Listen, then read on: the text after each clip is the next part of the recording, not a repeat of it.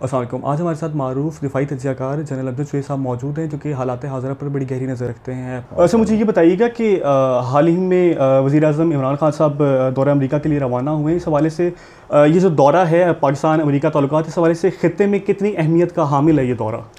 بسم اللہ الرحمن الرحیم۔ دیکھیے یہ دورہ پاکستان کے لیے بھی بہت اہمیت کا حامل ہے اور خطے کے امن کے لیے بھی۔ جیسا ہم جانتے ہیں کہ افغانستان میں امریکہ کی افواج ہے۔ اور آج ایک بہت بڑا مسئلہ اس کے سامنے یہی ہے کہ وہ اپنی افواج کو یہاں سے باعزت طریقے سے فیس سیونگ کے ساتھ نکال لے اور پیچھے بھی جو افغانستان وہ چھوڑ کے جائے، اس میں امن ہو، اس طرح کا جو وہ کہہ سکیں کہ جی ہم نے پچھلے سولہ سترہ سال میں، اٹھارہ سال میں جو کامیابی حاصل کی، وہ یہ کامیابی ہے۔ اگر وہاں پہ خانہ جنگی ہوگی بدمنی ہوگی، تو ساری دنیا امریکہ کو کہے گی کہ بھئی تم اٹھارہ انیس سال میں کر کے کیا گئے ہو؟ سو لہٰذا وہ اپنے عوام کو بتانے کے لیے، اپنی دنیا میں اپنی ساکھ رکھنے کے لیے وہ یہ چاہتے ہیں کہ یہاں یہاں امن ہے اور وہ باعزت طریقے سے یہاں سے انخلا کریں۔ لیکن دوسری طرف پاکستان کو اگر ہم دیکھیں تو پاکستان کے لیے بھی افغانستان کا امن اتنا ہی اہم ہے۔ کیونکہ جب بھی افغانستان میں بدمنی ہوئی ہے تو اس کا جو فال آؤٹ ہے وہ پاکستان نے جھیلا ہے، برداشت کیا ہے۔ اس لیے پاکستان کے لیے بھی یہ چیز اتنی ہی اہم ہے جتنی شاید امریکہ کے لیے ہو۔ لہذا پاکستان اپنے مفاد کے لیے امریکہ سے بڑا تعاون کر رہا ہے، امن لانے کے لیے۔ ہم پوری کوشش کر رہے ہیں کہ جتنا کچھ ہم تعاون کر سکتے ہیں، جو طالبان کو آگے اس عمل کے لیے، لانے کے لیے جتنا ہم فیسیلیٹیٹ کر سکتے ہیں، ہم کریں۔ لیکن سیدھی بات ہے اور واضح ہے کہ طالبان کوئی مکمل طور پہ ہمارے اوپر ڈپینڈنٹ نہیں ہیں وہ آج آئسولیٹڈ نہیں، پوری دنیا میں آج ان کو پذیرائی ہے۔ چائنا میں بھی ان کے لیڈر جاتے ہیں، رشیا بھی جاتے ہیں، ایران بھی جاتے ہیں، مڈل ایسٹ، دبئی وغیرہ۔ تو اس لیے پاکستان کا ان کے اوپر جو ایک انفلوئنس ہے، وہ ایک حد تک ہے، ایک حد سے زیادہ نہیں ہے کہ آپ ہر چیز ان سے منوا لیں۔ تو اس میں پاکستان کو بھی ریجنل کنٹریز کی ضرورت ہوتی ہے کہ چائنا رشیا ایران وغیرہ مل کے تو کریں اس چیز کے اوپر بات کریں۔ ان کو طالبان کو قائل کریں کہ جی آپ بات چیت کریں۔ تو یہ وہ پروسیس ہے جو چل رہا ہے لیکن چونکہ پاکستان ڈائریکٹلی امریکہ کے ساتھ تعاون کر رہا ہے تو اس کو ایک فوکل پوزیشن حاصل ہے۔ ایک کلیدی پوزیشن حاصل ہے جہاں امریکہ چاہتا ہے کہ لگاتار یہ تعاون جاری رہے۔ اب میرا اپنا اندازہ ہے کہ امریکہ کی ایک تعلقات کی ہسٹری ہے پاکستان کے ساتھ۔ اور ہسٹری یہ ہے کہ جب ان کو ضرورت پڑتی ہے آپ کی تو وہ بالکل آپ کے ساتھ تعلقات ٹھیک کر لیتے ہیں اپنی مرضی سے۔ بالکل صحیح ماضی میں آپ کو بھی کچھ نہیں کرنا پڑتا وہ آ جاتے ہیں جناب آپ بڑے اچھے ہیں یہ ہے وہ ہے ہم آپ کے ساتھ تعلقات ٹھیک چاہتے ہیں۔ اور جس دن آپ کی ضرورت ختم ہو جاتی ہے تو وہ آپ کو لات مار کے پرے کرتے ہیں اور پھر وہ آپ کے لیے بہانے ڈھونڈتے ہیں۔ کہ جی یہ دہشت گردی کراتے ہیں یہ پیسے کھا گئے اتنے پیسے کھا کے بھی انہوں نے دھوکہ کیا ہے چیٹ ہیں یہ ہے وہ ہے۔ پھر آپ کے اوپر یہ الزامات آنے شروع ہو جاتے ہیں۔ سو یہ جو پیٹرن ہے یہ تعلقات کا ایک رخ ہے۔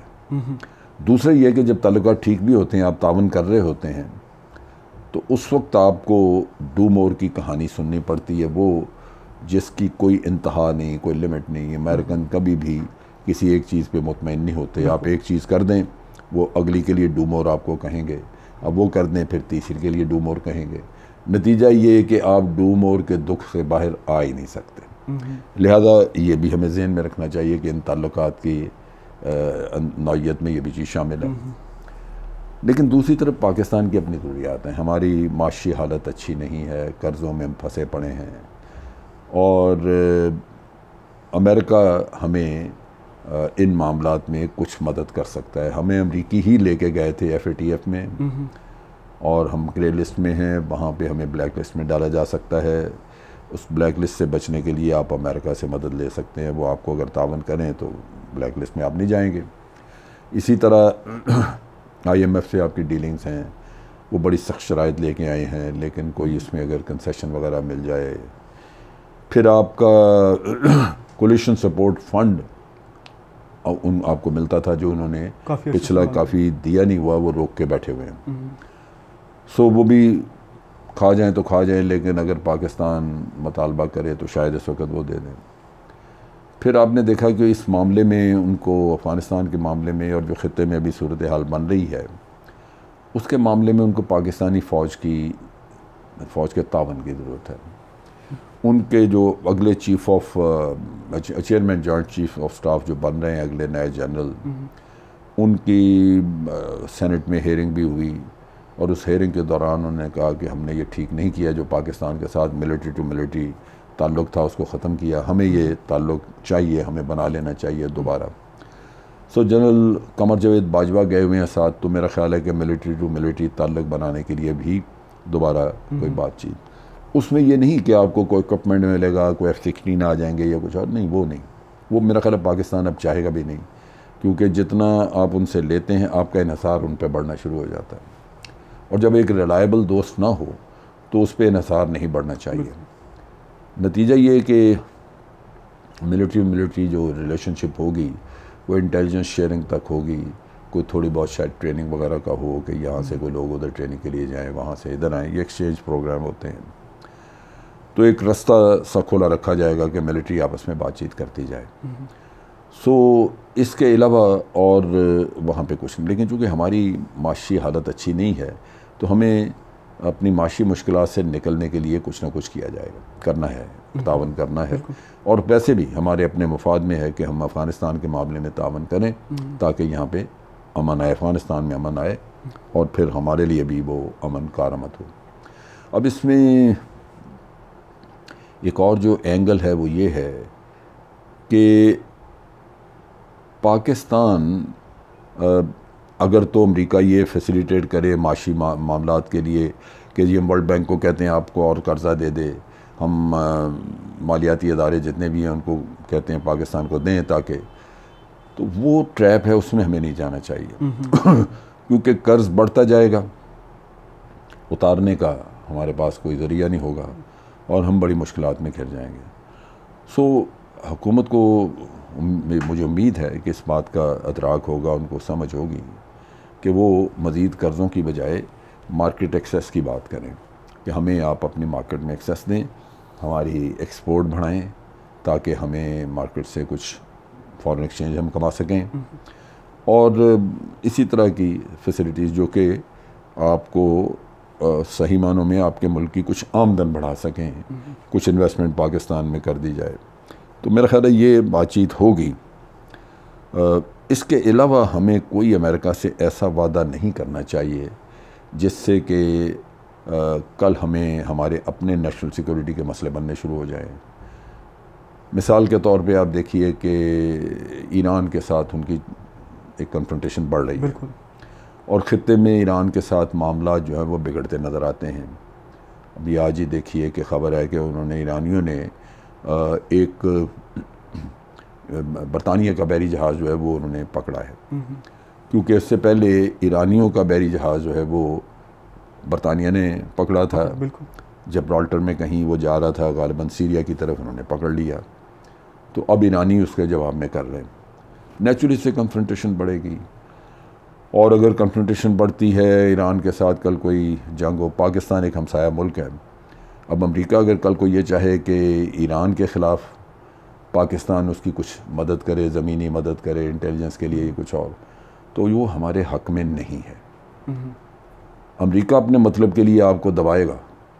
وہ آپ کے لیے مشکلات بھی پیدا کرے گا آپ کو لالی پاپ بھی آفر کرے گا کہ یہ ہم آپ کو سہولت دیتے ہیں لہٰذا آپ ہمیں یہ کام کریں لیکن یہ چیز جو ہے، یہ ہمارے لیے ہمیشہ کے لیے یہ ایک مصیبت بن سکتی ہے، اور ویسے بھی ایک اسلامی ملک ہے۔ ہمیں جائز نہیں ہے کہ ہم ان کے خلاف کسی باہر کی قوت کی مدد کریں۔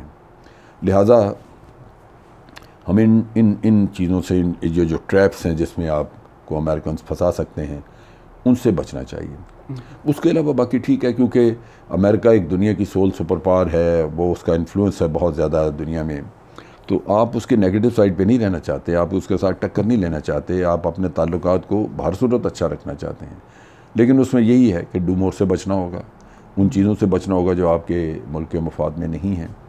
اور اس کے بدلے میں پھر جو تھوڑا بہت ان سے تعاون ملتا ہے وہ آپ لیں بہت بڑا تعاون حاصل کرنے کی خاطر آپ اپنے مفادات کو قربان کر دیں وہ مناسب نہیں ہے۔ پھر جو ہمیں خطے میں ایک اسٹریٹجک بیلنس خراب ہوتا نظر آ رہا ہے انڈیا کی فیور میں کیونکہ امریکہ ان کو بڑی ٹیکنالوجی دے رہا ہے بہت کچھ ان کو دے رہا ہے۔ یہ ان کی ایک اسٹریٹجک ریکوائرمنٹ اور یہ امریکی کبھی نہیں بدلیں گے۔ کیونکہ الٹیمیٹلی ان کا آبجیکٹو یہ ہے کہ انہوں نے چائنا کو کنٹین کرنا اس کے لیے انڈیا چاہیے۔ تو وہ وقتی طور پہ آپ کو اس وقت ہیلپ کریں گے لیکن بالآخر وہ انڈیا کو ہی ان دا لانگ رن انڈیا ان کا انڈیا ہی ان کا انڈیا ان کا اتحادی ہے اور اتحادی رہے گا۔ پاکستان اتحادی نہیں ہے لیکن تعاون وغیرہ کچھ دیر کے لیے ہوگا اور اتحادی آج بھی نہیں بعد میں نہیں ہوگا۔ تو یہ حقائق ہے جو ہمیں سامنے رکھتے ہوئے ہمیں آگے بڑھنا ہوگا۔ اس میں جو اچھی چیز ہوئی ہے وہ یہ ہے اور اسی کو ہمیں کیپٹلائز کرنا چاہیے کہ افغانستان میں کم از کم امن کے لیے امریکہ جو پاکستان سے تعاون چاہتا ہے غالباً امریکنز میں یہ تھوڑا احساس پیدا ہوا ہے کہ انڈیا کے ذریعے امن نہیں آ سکے گا افغانستان میں۔ پاکستان تعاون کرتا ہے تو انڈیا ایک سپوائلر کا رول ادا کرے گا۔ لہٰذا انہوں نے کوائٹلی انڈیا کو فی الحال اس پیس پروسیس سے باہر رکھا ہے۔ اب یہ ہماری ذمہ داری ہے اور ہماری جو نیگوسیشنز کر رہے ہیں اس میں ہمیں محتاط رہنا ہوگا۔ کہ امریکنز دوبارہ کہیں چور دروازے سے انڈینز کو پھر اندر نہ ڈال سو ہمیں اس پہ فرم رہنا ہوگا کہ جی انڈیا کا اس میں رول کوئی نہیں ہے۔ یہ جو کچھ امن کے لیے ہم کوششیں کر رہے ہیں اس میں بگاڑ پیدا ہوگا اگر انڈیا شامل ہوا۔ تو آپ اگر مخلص ہیں امریکنز اگر مخلص ہیں افغانستان میں امن کے لیے پھر ان کو انڈیا کو ایک طرف رکھنا چاہیے۔ تو یہ وہ چیزیں ہیں جو کہ ایک کمپلیکس ریلیشن شپ ہے جسے ہمیں بڑا ٹیکفلی بڑا سینسبلی ہینڈل کرنا ہوگا۔ تاکہ بعد میں ہمارے لیے مشکلات پیدا نہ ہوں۔